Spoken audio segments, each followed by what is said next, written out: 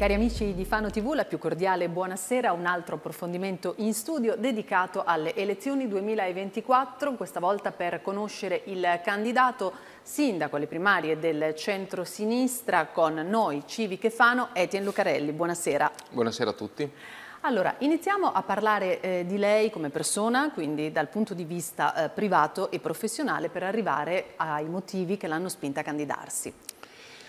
Ma innanzitutto Etienne Lucarelli, molti magari percepiscono questo strano nome, ma in realtà sono nato a Fano, Fanese Doc, eh, la zia che ha sposato un belga ha deciso di darmi questo nome così particolare e ormai conosciuto e riconoscibile direi, perché non ce ne sono a Fano così tanti. Eh, tutti mi conoscono per l'attività sociale, eh, svolta nella città negli ultimi vent'anni e, e, veramente sono innamorato anche di questo modo di fare città, delle persone attive che giornalmente si dedicano eh, per la comunità, che è anche un po' un valore etico, no? che dovremmo anche un po' tutti ritrovare, quello di spendersi, di fare un passo avanti verso la comunità a favore della città. Non tanti invece mi conoscono per eh, la mia attività professionale, agente di commercio con eh, la responsabilità commerciale dell'area adriatica, con eh, degli studi specifici proprio per il settore, studio di quinto livello in comunicazione, eh, con un nome strano che si chiama PNL, programmazione neurolinguistica, che ti insegna proprio a stare tra la gente, avere empatia, eh, ti insegna a creare questo ambiente di comunità che è un valore aggiunto per tutti. Ehm, ecco, in questi anni abbiamo portato avanti un progetto importante per la città, che è un progetto civico, e, ed è questo che vorremmo continuare a fare, perché ecco, riteniamo che sia un valore importante. Presentiamo allora anche la lista. Un progetto che nasce dieci anni fa con il sindaco Massimo Seri, eh, io sono stato coinvolto negli ultimi cinque anni con una lista civica insieme meglio, eh, prima l'espressione del civismo cittadino aveva due altre liste, Noi città e Noi giovani, questa di fatto è l'evoluzione del civismo fanese, lo vediamo qua, la lista si chiama Noi Civiche Fano, la parola civiche rappresenta proprio il civismo della città di Fano, che ormai, eh, devo dire, è diventato un progetto politico. Queste freccette rappresentano le tante persone con le diverse sensibilità che compongono questo gruppo, ma anche le varie tematiche che vogliamo portare all'attenzione della città per portare la città verso il futuro. Sono due eh, le parole che utilizziamo, che a noi piace utilizzare, ascoltare e fare. In questi anni noi siamo stati sempre veramente molto vicini ai cittadini, eh, ascoltandoli, eh, abbiamo scelto di partecipare a vari progetti direttamente con la città e poi di mettere in pratica direttamente le cose che i cittadini ci chiedevano di fare, con un modo di fare concreto e pragmatico. Ecco, è anche questo che vogliamo continuare a fare nel futuro, credo che questa sia la vera anima del civismo e ciò che dobbiamo continuare a fare. L'idea è avvicinare la macchina amministrativa amministrativa alle persone e credo che per il futuro sia molto importante. Il prossimo 7 aprile siamo chiamati alle urne, come si vota? Eh, allora, innanzitutto devo dire che eh, insomma c'è questa, eh, così, eh, le primarie sono tra quattro candidati, persone compagni di viaggio, devo dire, e non avversari, perché siamo insieme in questa partita, per rappresentare un'anima del centro-sinistra che ha veramente tante sfumature, quindi io per il civismo, i miei colleghi per altri partiti e il 7 aprile sarà importante che tutti i cittadini vanno a votare perché pensiamo che il candidato sindaco del centro-sinistra debba essere proprio un'espressione delle persone. Ecco, tutti possono andare a votare perché qualcuno mi ha detto possono andare a votare solo le persone che hanno la tessera di partito. No, questo non è vero, tutte le persone possono andare a votare, si va con la tessera elettorale, sono 10 i seggi, si può andare anche direttamente nel mio sito internet www.etienlucarelli.it, c'è una sezione proprio dedicata a come si vota. In base alla vostra tessera elettorale, insomma, sapete dove poter andare a votare, andate direttamente, 2 euro si spendono per votare e insomma ognuno può dare la propria preferenza con i candidati che sono Cora Fattori, nell'ordine tra l'altro, Cora Fattori, Etienne Lucarelli, Cristian Fanesi e Samuele Mascarin. E io dico eh, insomma, votare me significa anche portare eh, nella città eh, quella dose di freschezza che arriva dal civismo, di attenzione verso la città, eh, ma anche quell'esperienza che nasce in eh, un uomo di 50 anni che ha vissuto un'attività professionale che lo ha portato in giro per il mondo, quindi a conoscere il mondo, eh, ma anche eh, la capacità di socialità che l'ha portato a conoscere la città e le persone. Quando parla del futuro della città lei usa due parole chiave, benessere e qualità della vita. Ci spiega meglio questo concetto? E perché secondo me sono le due parole, le due tematiche, i due macro temi del quale un amministratore, un sindaco deve tener conto per eh, portare la città verso il futuro, per far crescere la città eh, che per crescere ha necessità di crescere insieme. Quindi diciamo che sarà il principale obiettivo della prossima amministrazione da me eh, governata. Quindi qualità della vita e benessere, ovvero il benessere c'è quando siamo in grado tutti insieme di accompagnare gli ultimi, le persone più fragili e il benessere c'è quando insieme riusciamo a portare la città, a farla conoscere all'Italia, al mondo, con eh, quelle che sono le sue principali peculiarità. E io uso sempre, mh, quando devo spiegare qualità e benessere, uso sempre due macro tematiche per capire come, per spiegare come poter raggiungere questo risultato. E uno è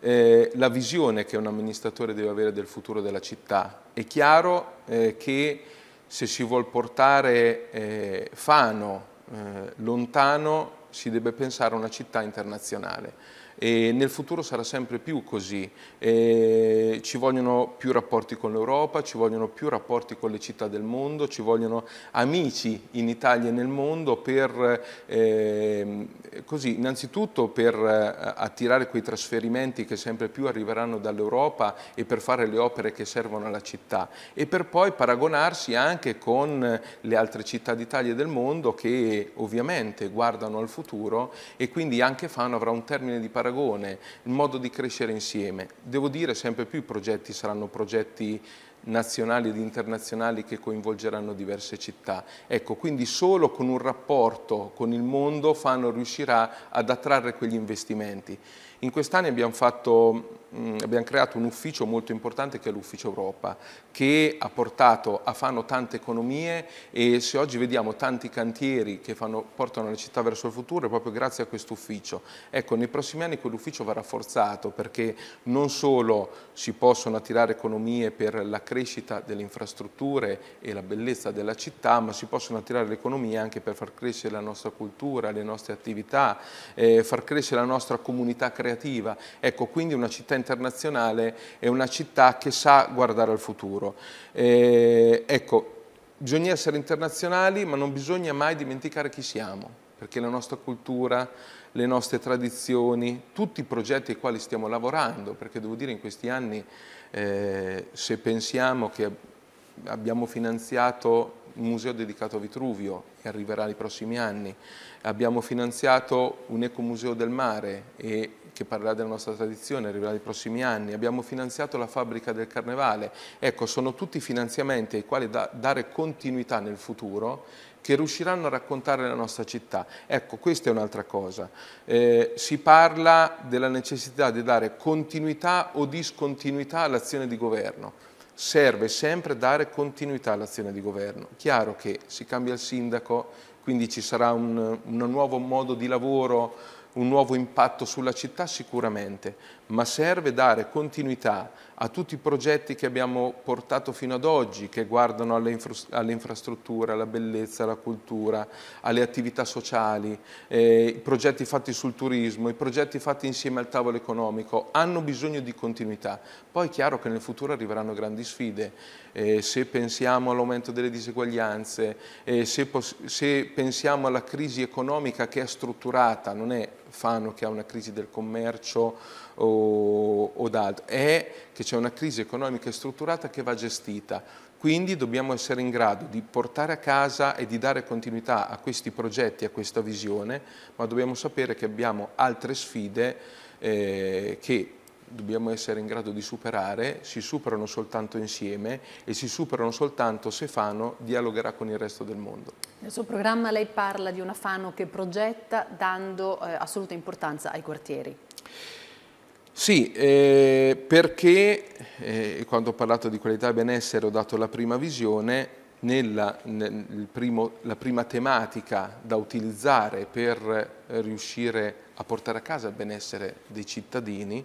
eh, la seconda è l'attenzione alle piccole cose, alla crescita comune. Quando parlo di attenzione alle piccole cose, molti oggi ci lamentano il fatto che non abbiamo avuto attenzione alle manutenzioni. Ecco, questa cosa la voglio spiegare, perché in questi anni col, piano, eh, col PNRR eh, le amministrazioni locali eh, hanno dovuto lavorare veramente tanto, ma tutte le comunità, perché per portare a casa le economie eh, che vedete nei grandi lavori, ci sono venuti architetti, ingegneri, geometri, tutti stanno lavorando dietro questi progetti. Nella macchina amministrativa abbiamo dovuto assumere il doppio delle persone che c'erano prima e se non avessimo fatto questo non saremmo stati in grado di portare a casa le economie dall'Europa, non saremmo stati in grado di crescere e di portare a casa quelle infrastrutture, quei progetti necessari per guardare verso il futuro. E guardate che quelle economie lì dobbiamo pagarle i prossimi anni, quindi era necessario farlo. Ecco, non, siamo, non abbiamo potuto utilizzare quelle persone per le piccole manutenzioni. Da domani servirà un piano manutenzione serio occorrerà arrivare ovunque, molti si lamentano, bisogna tagliare più l'erba, bisogna guardare più i marciapiedi, bisogna sistemare più la città, è vero, abbiamo bisogno anche delle piccole manutenzioni. Eh, ecco, e io credo che guardare i quartieri, e ritorno alla domanda che mi hai fatto, sia fondamentale. Eh, il centro storico è il cuore di una comunità, ma i quartieri ne sono l'anima, questa è l'idea che io ho della città e se noi non riusciamo a capire Innanzitutto bisogna mm, rifare un progetto serio riguardante ai quartieri perché la città prima era divisa in sei circoscrizioni, oggi nel 2016 l'Università d'Urbino ha risuddiviso la città addirittura in 21 quartieri, oggi magari sono ancora di più, perché i singoli quartieri hanno diverse anime, hanno, necessi hanno diverse necessità, quindi è chiaro che va risuddivisa la città, è chiaro che dobbiamo portare a casa il tema dei consigli di quartiere. Perché? Perché l'amministrazione ha bisogno di un nucleo formale, istituzionalizzato, quindi un consiglio di quartiere all'interno di ogni singola comunità per poter attivare una serie di servizi. Abbiamo parlato delle community hub che sono dei centri sociali che tra l'altro sono previsti nell'ultimo piano regolatore. Ecco, ci sono già dei centri sociali che sono anche club anziani all'interno delle comunità, ma hanno bisogno di guardare alla comunità 360 gradi, ad esempio di coinvolgere anche i giovani che cercano aule studio. Abbiamo bisogno di attivare una serie di servizi, ad esempio, che guardano alle attività sociali. Sempre più persone vivono fragilità all'interno di casa e magari con i consigli di quartiere possiamo attivare dei servizi utili per queste persone la salute mentale sta aumentando esponenzialmente. Eh, questi giorni diverse città, ho visto, lo stanno attivando, si sta attivando uno psicologo di quartiere presente proprio all'interno delle comunità per dare manforte a tutte quelle persone che hanno questo tipo di fragilità. Ecco, quindi credo che guardare i quartieri con attenzione per il tipo di infrastruttura, eh, creare una comunità forte all'interno del quartiere che dialoga, che ha la propensione attiva verso la città, eh, questo ovviamente grazie a dei consigli di quartiere, e delle persone attive all'interno, aiuta a creare le comunità nei quartieri, aiuta a capire quali servizi e quali necessità hanno i quartieri e fare in modo che l'amministrazione possa dialogare dialogare in modo più attento, eh, perché serve anche maggiore attenzione nel dialogo con la città, eh, con tutta la città. Quando parla di sviluppo economico lei eh, intende rendere Fano più competitiva, in che maniera? Serve alla città fare dei passi avanti nelle infrastrutture, ad esempio il centro storico serve un piano parcheggi, eh, ad esempio serve capire come le attività commerciali possono cambiare la loro mentalità stessa di commercio, perché il commercio stesso che sta cambiando, serve aiutarli in questo, serve andare nel digitale, serve una cultura delle persone che arrivino nella città in bici, ancora il 65% della popolazione fanese vuole arrivare a Fano in macchina, mancanza di infrastrutture, ma anche mancanza di cultura. E, e, quindi questi dobbiamo aiutare a portarla verso il futuro, ma poi dobbiamo guardare ad esempio anche all'artigianato, negozi storici e negozi che raccontano le identità fanesi, vanno identificati,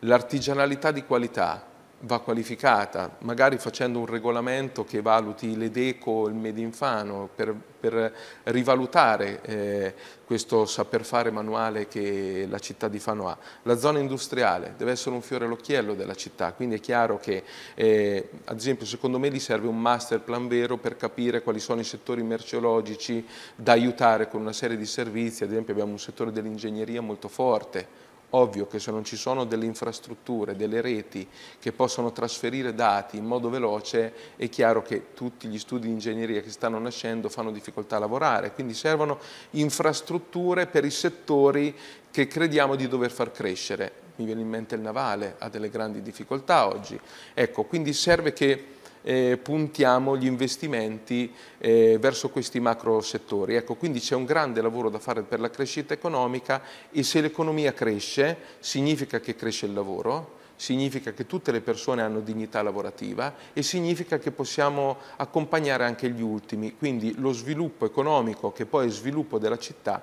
va visto proprio in tal senso. Parlando di riqualificazione, lei pone l'accento sulla bellezza e sulla manutenzione. Quali sono i suoi progetti per la città di Fano? Ma questo l'ho detto un po' prima, eh, noi abbiamo puntato a riqualificare tutte le aree più belle del cuore della città e quindi come ho detto servirà un piano manutenzioni che ci permetta di arrivare ovunque e ad esempio, visto che sono le principali criticità che vedo, di rendere la zona mare bella già dal periodo pasquale, con i sottopassi a posto, eh, con l'erba pulita, con eh, le strade a posto, con la segnaletica in ordine, quindi sono dei passi che dobbiamo fare e servirà a strutturare un ufficio che possa fare questo.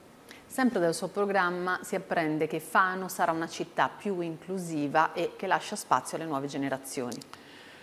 Sì, il tema dell'inclusività, il tema del fare eh, comunità è un tema centrale per tutti. Eh, fare in modo che il sindaco abbia un'attenzione sulla sanità pubblica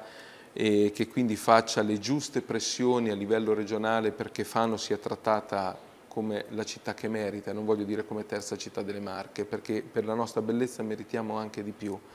da questo punto di vista, però devo dire che oggi ci sono tante necessità anche fuori dal tema ospedaliero, eh, ci sono nuove fragilità che stanno crescendo e lì dobbiamo avere eh, un, un, occhio particolare, dobbiamo lavorarci sia come amministrazione dedicando i fondi, attivando servizi per aiutare queste persone, ma dobbiamo essere un, anche una comunità attiva che dedica eh, le economie eh, che sono nella città eh, per accompagnare gli ultimi, perché solo insieme possiamo veramente crescere. Fano la città dei bambini e delle bambine, ma anche un progetto giovani. Fano ha bisogno di includere i giovani in un processo di crescita e di governo della città. E fino adesso eh, sì, in questo mandato col sindaco Seri diversi giovani sono stati inseriti, poi i giovani hanno bisogno di eh, attività all'interno dei quartieri, ad esempio di aule studio. Oggi i giovani studiano tutto il giorno e poi alla sera hanno bisogno di divertirsi. Ecco, infatti ci arriva la richiesta di avere aule studio direttamente nei quartieri e magari queste con i consigli di quartiere, con l'interazione demografica, eh, sociale tra anziani e giovani si possono realizzare all'interno eh, delle community hub e quindi abbiamo bisogno di realizzare un piano giovani e per fare questo non possiamo farlo noi, devono fare direttamente loro, ormai la città deve parlare anche con il loro linguaggio. È per questo che abbiamo bisogno di, chiuder, di racchiuderli in un'azione di governo e includerli in un percorso di crescita della città di Fano. Siamo arrivati al termine di questo nostro spazio, un minuto per fare l'appello al voto. Ma per tutte le persone che mi conoscono, per l'idea di una città che deve guardare al benessere, per una consapevolezza di un dialogo che eh, ci deve essere a livello nazionale e internazionale, perché la nostra città merita per la sua storia, per le sue tradizioni di guardare al futuro. Per eh, la consapevolezza di una persona che da vent'anni fa attività sociali, quindi eh, è mm, innata la volontà di partire sempre dalla comunità, dal basso, dagli ultimi, dalle persone più fragili. Quindi per la volontà di voler eh, accompagnare tutta una città con tutte le sue fragilità in un percorso di crescita futura guardando a sostenibilità, guardando a eh, crescita, guardando al valore della comunità, guardando a, a, alle nuove tecnologie, guardando a, a tutto quello che il futuro ci farà trovare davanti, con ottimismo, con pragmatismo, con tenacia, eh, con la voglia di eh, far crescere una comunità intera. Grazie allora Etienne Lucarelli, grazie a Roberto Magrelli in regia e a tutti voi per l'attenzione. Io vi auguro un buon proseguimento con i nostri programmi. Arrivederci.